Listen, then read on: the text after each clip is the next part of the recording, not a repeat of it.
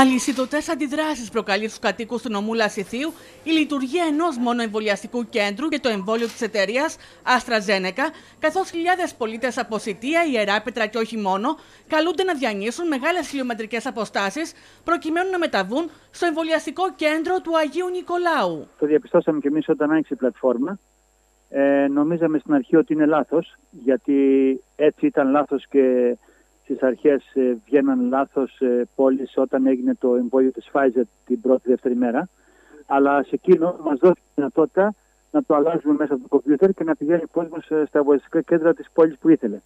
Σε αυτή την περίπτωση τώρα, στην Άστρα, δεν αλλάζει. Είναι το μοναδικό εμβολιαστικό κέντρο του νομού και αυτό έχει δημιουργήσει αναστάτωση, ταλαιπωρία το αρνητικό είναι ότι υπάρχει μόνο ένα κέντρο εμβολιασμού στον ομολασθίου, το οποίο νομίζω δεν επαρκεί και πρέπει να κάνουμε ένα καλύτερο σχεδιασμό και να γίνει ένας καλύτερος σχεδιασμός, ούτως ώστε να εξαπλωθεί ε, η δυνατότητα στον πληθυσμό για ταχύτερο εμβολιασμό. Οι δυσάρεστες αυτές εξελίξεις φέρνουν τα πάνω κάτω στον εμβολιασμό πολιτών που ανήκουν στις ηλικίες μεταξύ 60 με 65, με αρκετούς πολίτες, να εκφράζουν ήδη τη δυσαρέσκειά τους, διατυπώνοντας μάλιστα την πρόθεσή τους να μην εμβολιαστούν.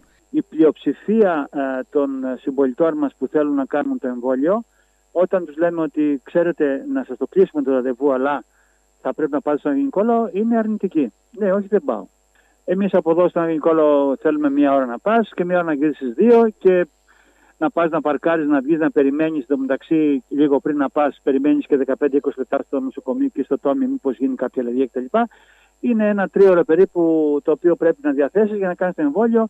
Συν τα έξοδα. Είναι μια ταλαιπωρία η οποία εντάξει, στο άλλο, εμβόλιο, στο άλλο εμβόλιο δεν υπήρχε και δεν ξέρουμε γιατί έγινε αυτό. Και ενώ συμβαίνουν όλα αυτά, μόνο δύο εμβολιαστικά κέντρα στο Ηράκλειο θα λειτουργήσουν την ερχόμενη Δευτέρα παρά τις διαβεβαιώσεις των αρμοδίων.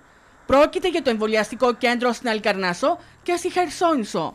Και θέλουμε ένα χρονοδιάγραμμα πότε θα λειτουργήσουν αυτά τα κέντρα. Θα λειτουργήσουν από την επόμενη εβδομάδα και θα ανοίξει το σύνολο των κέντρων υγείας που έχει ανακοινωθεί. Μόνο της Αλικαρνασού, ναι, δεν υπάρχει δεύτερο. Υπάρχει καθυστέρηση στη Καμπυλάκη. Κατά τη γνώμη μου, ναι, αλλά από εκεί πέρα το βλέπετε, το βλέπετε. Αυτό που στενοχωριέμαι και πραγματικά με λυπεί είναι ότι δεν έχουν προβλέψει για ειδικές ε, κατηγορίε ανθρώπων οι οποίοι είναι στο σπίτι, οι οποίοι είναι άνθρωποι με ειδικές ανάγκες, οι οποίες πρέπει να πάνε κατοίκον να τους κάνουν εμβόλιο. Σε αυτού δεν υπάρχει πρόβλεψη. Το βασικότερο από όλα πρέπει να ενεργοποιηθεί και να εμπλακεί η πρωτοβάθμια, ούτως ώστε να μπορέσουμε να προχωρήσουμε πιο γρήγορα.